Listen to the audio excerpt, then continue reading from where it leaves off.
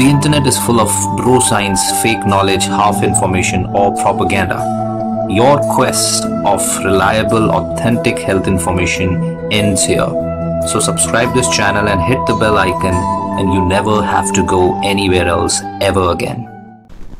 Hello everyone नमस्कार आदाब सत श्रीकाल कैसे हैं आप मैं हूँ डॉक्टर परमजीत, आप देख रहे हैं डॉक्टर एजुकेशन। दोस्तों, आज हम बात करेंगे पेट में एक स्वेलिंग एक लंप की, एक अगर आपके पेट में एक लंप है, अगर एक गांठ है, वो गांठ के ऊपर क्या कारण हो सकते हैं? वो गांठ सबसे खतरनाक रीज़न क्या है? सबसे कॉमन रीज़न क्या है? क्या करना चाहिए आपको, क्या नहीं करना चाहिए?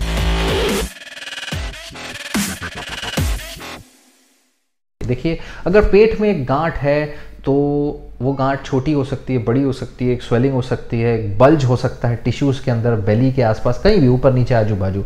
ज़्यादातर केसेस में जो गांठ होती है, ज़्यादातर कॉमन सबसे कॉमन कारण इसका है हर्निया हर्निया जी हाँ। पेट के टिश्यूज़ में एब्डोमेन में हर्निया होता है, जबकि एक वीक स्पॉट होता है, कमज़ोर एरिया होता है, जहाँ पर पेट की जो वॉल है, उस वॉल में कमज़ोर एरिया है उसके वजह से जो अंदर के ऑर्गन्स हैं, अंदर के इंटेस्टाइन है, वो बल्ज करते हैं मसल्स के थ्रू और मसल्स को के आ, को थ्रू बल्ज करके बाहर आने की कोशिश करते हैं। ये बाहर आ जाता है और आपको फील होता है राइट तो ये आपको फील हो सकता है जब भी आप स्ट्रेन करें ताकत लगाएँ जब भी आप कोई हैवी चीज़ उठाएँ जब भी आपको बहुत लंबी थोड़ी बहुत खांसी आए तब राइट और हरनिया भी बहुत प्रकार के हैं। हमने हरनिया पे एक डिटेल वीडियो भी बनाया हुआ है आप जाके वो वीडियो देख सकते हैं। उसके अलावा अभी बता देते हैं कि हरनिया एक तो होता है इनग्वाइनल हरनिया। इनग्वाइनल हरनिया नीचे के साइड में इनग्वाइनल रीजन पे ग्रॉइन या स्क्रोटम तक आपके अंडकोशों तक वहाँ पर फील हो सकता है, ज़्यादातर ये मेन में होगा वेमेन में कम होता है इनगोइनल हर्निया इंसीजनल हर्निया हो सकता है, अगर आपने एब्डोमिनल में कुछ सर्जरी कराई है तो उस इंसीजन उस कार के थ्रू हर्निया आ सकता है। अम्बलिकल हर्निया धुनी नाभि के पास आसपास से होता है, उसमें होता है, क्योंकि अगर नाभि के आसपास की मसल जो है सही से कॉन्ट्रैक्ट नहीं कर रही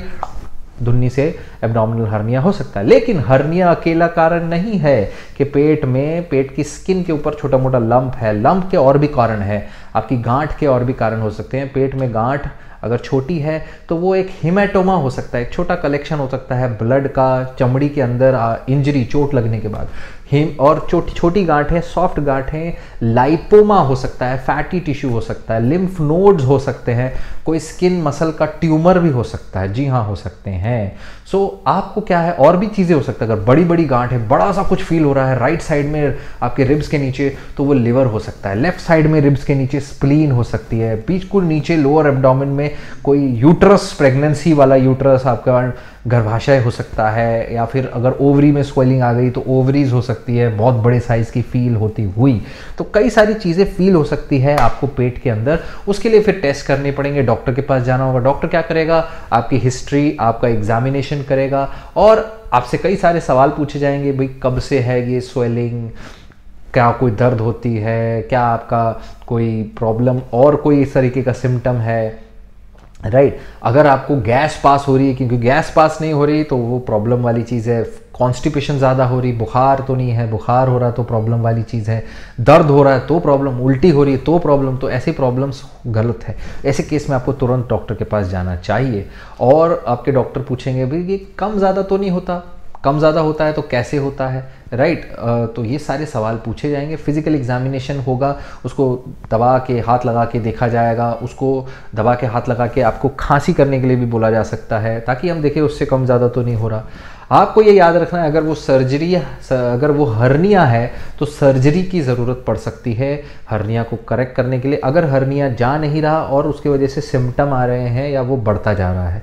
सर्जरी हर्निया वाली सर्जरी में एक बड़ा कट लगा के, बड़ा चीरा मार के भी सर्जरी होती है और दो तीन लैप्रोस्कोप यानी दूरबीन डाल के भी सर्जरी होती है। और अगर आपको दूसरी स्किन में चीज़ें हैं लाइपोमा है हाइमेटोमा है तो उनकी भी सर्जरी होती है। और अगर पेट के अंदर गांठ है, बड़ी कोई गांठ है तो उसके लिए अल्ट्रासाउंड, सीटी स्कैन, एमआरआई ऐसी जाँच की जा सकती है, जिससे पता चले वो क्या है। और फिर आगे जाँच होती है कि भाई वो क्यों बड़ा हो रहा है, क्या और बीमारी है। बाकी सारे टेस्ट किए जाते हैं, उसके लिए आपको डॉक्टर के पास जाना है। सो ये हुई बात, दोस्तों, पेट में गांठ की, लंप इन एब्डोमिन की। आई होप ये वीडियो बहुत काम आए। और लोड जिसको ज़रूरत है, उनके काम आए। पंजाबी बोलने वाला लोड बनना दे कम आओ तो ज़रूर शेयर करो वीडियो सारे शेयर करना ज़रूरी है। Thank you so much for watching I am doctor Paramjeet you watching doctor education stay connected and stay healthy